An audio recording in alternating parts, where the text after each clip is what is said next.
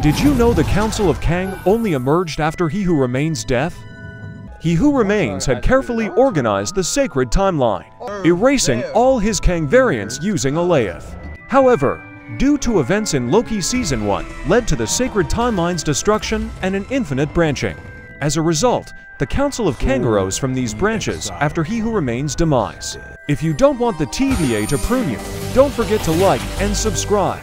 In a four-dimensional view, we are now witnessing all of time, including countless years of the past, present, and future, unfolding at once. In short, the Council of Kang is unaware that they simply popped into existence, oblivious to their prior erasure.